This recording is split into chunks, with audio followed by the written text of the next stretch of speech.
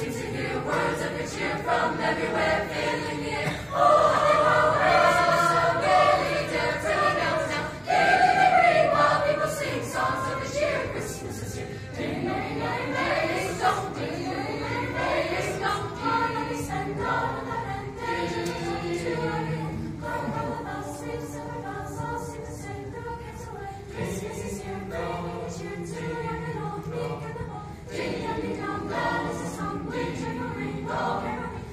To hear words of this year from.